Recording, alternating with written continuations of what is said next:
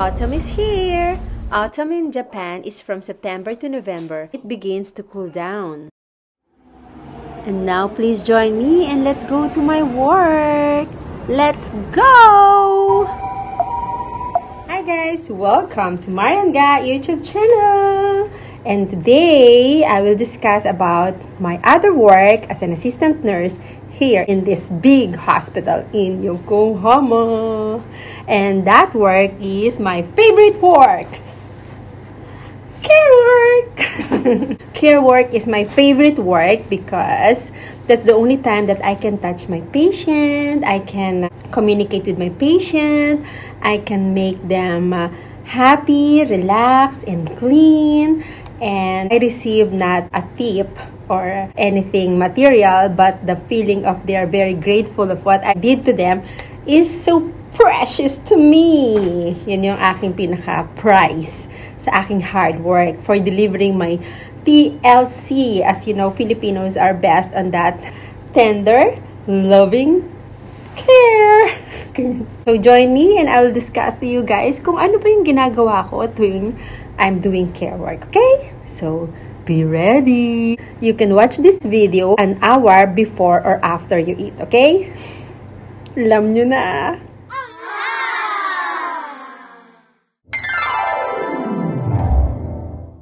We have different types of work sa care work. Either you do bed bath, or we call it BB. Yun yung pinupunasan mo yung katawan. You wipe their body from face to toes. Siyempre, talagang hanggang dulo ng daliri, guys. Talagang pinupunasan namin ng hot towel. Because those patients cannot take a bath by themselves or they just finish operation a day after they had operation. Ginagawa namin yung bed bath. We use uh, Oshiburi, very hot towel, this one. First, wipe the face until the nape. And then next, with a hot towel, I wipe the back part of the patient. And the patient, you will hear like, ah, kimochi. It means feels great. And then from back, and I'll do the right side of the hand. And hanggang sa kilikili. And the next towel is in front. From front here area, tsaka dito sa left hand hanggang kilikili until the armpit.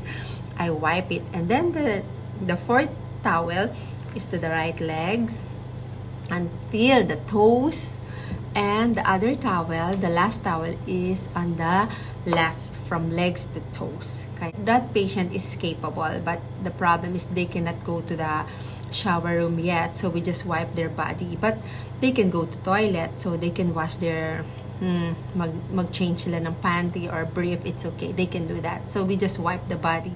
Another one is shampoo. We shampoo the patient's uh, head and hair. The reason is because the patient cannot go to the bath by themselves because they have wounds in part of their body and the patients who undergone cesarean method. Two days after their operation, we shampoo their hair. Yeah. The things that we need to prepare are the patient shampoo, towels, tissue, and the crepe so that the patient won't get wet. Yan. And another one is that everybody's favorite or my favorite, I don't know, is diaper changing or what we call perineal care. Ito yung paghuhugas dun sa under part, whether man or woman patients, we do that. We make them open the legs and wash that area and clean it, dry it, and change the diaper. Yun. At isa pa, dito sa hospital, very strict sila sa cleanliness ng pasyente. Usually, pag ang patient nakakatheter, or we call it balloon, we do everyday cleaning there. And another one, sometimes we were being asked to wash patients' feet or wash their hands or we do nail cutting or sometimes we do shaving of patients' face. Hindi to yung mga balbas dito. Not the kilikili ha. Only here in this area, we shave it. And also, we are being asked to brush the patient's teeth, especially if the patient cannot do it by themselves. Or sometimes we just assist them and they're doing the brushing of their teeth. And another one is that we assist the patient to take a bath in the small shower room area. We, we assist them, for example, they can do it by themselves to cleanse or to take a shower, but we just hand the towel or we, we scrub their back or the foot area. And the other one is that we have, you know, guys, you will be surprised or amazed on another ano, washer room or shower room or bathroom of the patients here in this hospital. If the patient is comatose or uh, if the patient cannot move by themselves, they cannot sit, we just let them lie down in their bed and we put them in that special bathroom area. Put the patient here and that child bed will lift and then it will go to this bathtub with full of hot water and then the water will splash outside and the patient will say, ah, kimuchi. Kimuchi means, it feels great. Something like that. So, sobrang nakakatuwa kasi why I like this work because I can see the patient face from being sad, pain, anxiety, uh, lonely, a lot, a lot of negative uh, feelings then it changed to happy, grateful, and relaxed and comfortable because they are being cleansed.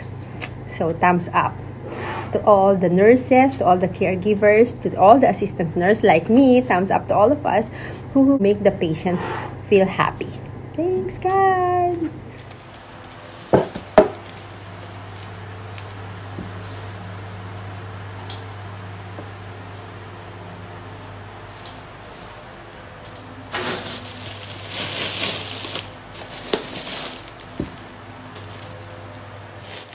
Guys, this is my face when I'm doing care work. Mahangin ba sa labas? Grabe no? Pagod, ngarag, toxic, so busy. But I'm so happy kasi marami ako napapasayang pasyente, napapangiti, nadalighten ko yung pain nila for that moment at nakakalimutan nila yung kanilang mga pain. Lahat ng mga negative feelings nila nililipad na ng hangin. At the end, they are smiling and feeling so grateful for what I did and they said, arigato gozaimasu. Honto ni arigato gozaimasu. Something like that. So, it's really my reward. Yun na yung pinaka-bonus ko pag nakikita ko yung pasyenteng masaya at natutuwa sa ginawa ko. Thumbs up. Thanks, God. And also, sometimes we do shampoo at first nursing station. Those patients who are bedridden or usually if bedridden, like terminal stages of cancer patients, yun yung we do shampoo on bed, imagine. So we wash the the hair of the patient on bed. Little difficult because you prepare a lot. Warm water, shampoo, the towel, the hot towel, and etc. etc. This is the things that I prepare. Water, spray, shampoo, gloves, sheets, towel, at syempre, alam niyo naman ako, extra service. Sometimes, when I do rinse, I massage their head. So, dun sila talagang parang mamatay mata. Heaven! At believe me or not, may naiiyak some old woman are crying. They're so ano grateful of what I did. So happy sila. Ang sarap-sarap. Parang, ah, kimochi!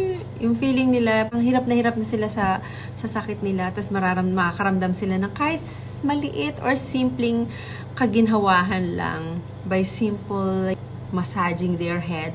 Sobrang, nag, ang, ang sarap din ng feeling ko kasi nakikita mo na nag enjoy sila at natutuwa sa ginagawa ko. Kaya, salute to me. Thanks God for this power, for this uh, hand. Binigyan ako ni Lord ng kamay na mag-touch ng patient, na makapagpaligaya, pagpagaang ng kanilang nararamdaman, or makalimot ng kanilang sakit. So, I'm so blessed with that. And I'm so proud of myself. Thank you, Lord. Thank you, Lord. Alright, so this week, I'm in charge at Care Work. Believe me or not, care work is my favorite work. It's a challenging work. I don't know how to explain it, but at first, I don't want to do it because I have the feeling of, mm, ah, ayoko niyan. Parang, mm, ah, parang ganon. But, when you're in that uh, situation already, the mm, ah will gone. And doing care work is a challenging work, a work that you need an extra effort, extra kindness, extra caring, and super duper tender loving care to the patients. Because on this work, care work, you will experience a lot of things, unpleasant things, unpleasant smell, unpleasant look, and unpleasant touch when you touch the patient. So, kung maarte ka, if you are maarte like me, you're okay on this work. But if you are more maarte, mag-showbiz ka na lang. Hindi ka bagay dito, girl. Sobrang uh, nakakabaligtad ng sikmura, lalo na yung amoy, o kaya yung pagtingin mo pa lang, uh, mapapaganyan ka na in the beginning. Parang ma, kumahina ang sikmura mo, you're not for this job, guys. Kami mga nurses, kami mga health team, sanay na kasi kami, even the amoy, the smell, and the, the yung pagtingin mo pa lang, oy, ibang klase ito, mahirap ata to. Pero I don't know, in God's grace, na na-overcome ko, and even yung mabahong tae, hindi ko na naamoy na mabaho.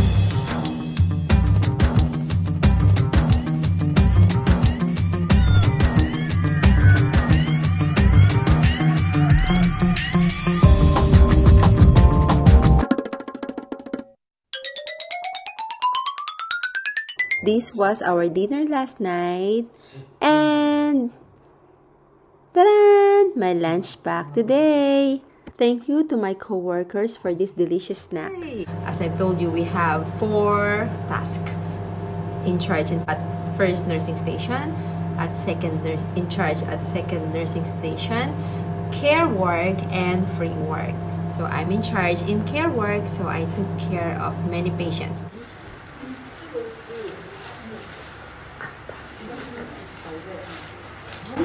I'm not a sweaty person.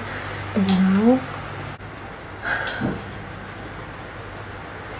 when you're doing care work, talagang tutulo ang pawis mo. Pati sis pawis sa singlet at sa kilikili. May extra underwear and undershirt. Think the most important that you should have when you're doing care is that you are happy and willing to help the sick people. Maybe you can you will say exaggerated naman ang performance nito ni Marian ga. But I really do that. The way I touch my patient, they are really with love and uh, so careful, so with tender loving care talaga know guys, when you're doing care work, of course, you're always washing your hands and alcohol, right? We sanitize it with alcohol. So talaga nagda-dry na ang ating mga kamay. Don't forget to put moisturizer or hand cream. So I'm using different kind of hand cream. Tada! During winter or spring or uh, autumn, usually nakaka-dry ng skin here in Japan. So, yung mga, yung kuko ko nag-split siya into half. Can you see this? Ayan, nag-split siya sa hada. Nag-split siya dito. Yan. So, to avoid it, I'm using Vaseline Petroleum Jelly. This Vaseline is from Satosang. Miss Sugar, thank you for this big Vaseline Petroleum Jelly. At syempre, pag gusto mo parang ano, mabango, yung L'Occitane is from our Clark-sang. Nakamura-san, thank you so much. And this is my favorite eye soap. This is from Ate Angie Bueno. Thank you very much for this gift. And this GQ is for the ordinary day. Itong Q10 whitening. Maganda siya sa, sa hands. This one is from me. I bought it in Tomods. Alright guys, this is my aura when I'm doing care work. Toxic, tired, exhausted, but happy happy to serve people. Nice work done, yes.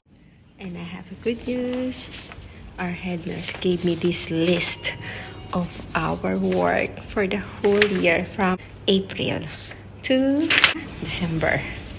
Ito yung evaluation paper namin na it says kung ano yung ginawa namin pag-work. And I have a good news, guys. And this is very important to us. Uwi na. Let's go home. I'm so tired.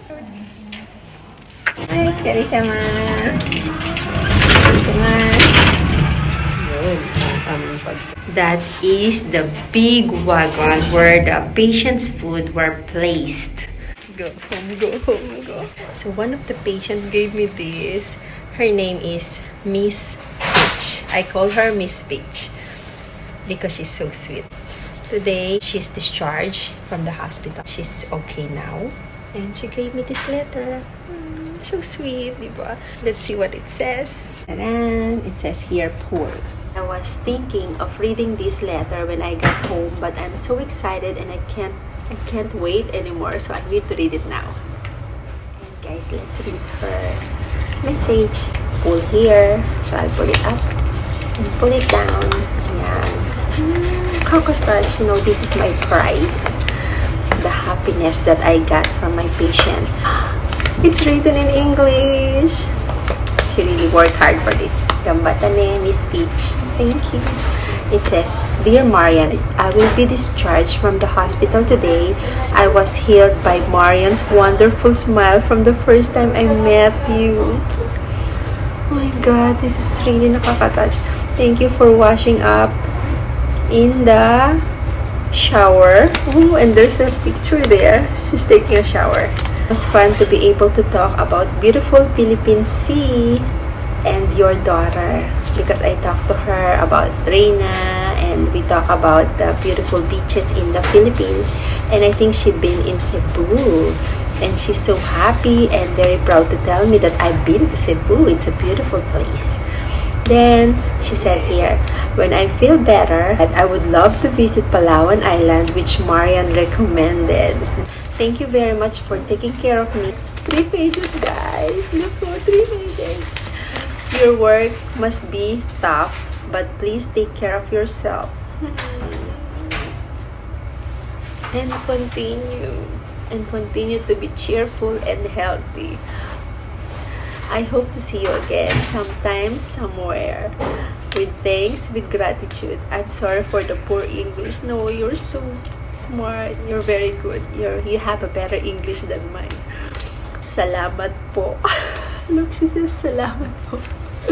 Arigato gozaimashita.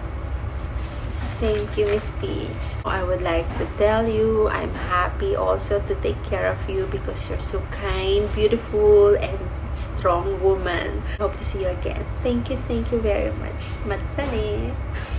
Really thank God for giving me that kind of strength, that kind of blessing that I can share to my patient, to the sick people in our hospital.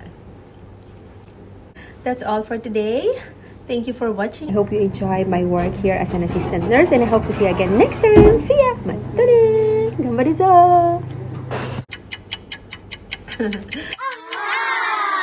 Gusto tayo mag-work. Business tayo. Nakikita. There you go. I'm finished. First day of care work is finished. Hey, and now guys, we're home. Our tomato is ready to harvest, so let's get it. I'm excited. It's dark. Let's peek. Let's harvest our tomato. And where is the tomato? Wow! There is it. I got you. I harvest two mini tomatoes. Yay! Buono senor. Our food is from France, macaroni gratin with Italian white wine and mentaiko bread and salad. Itarekman.